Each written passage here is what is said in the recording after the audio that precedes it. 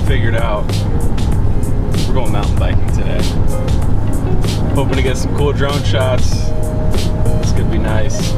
It's gonna be hot, but it's gonna be nice.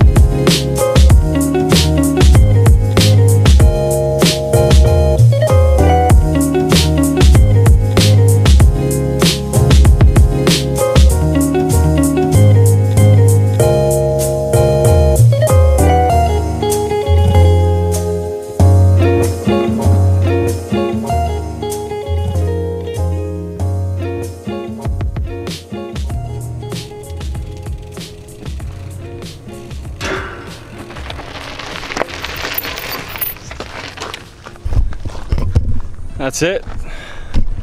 It's the end of this bike ride.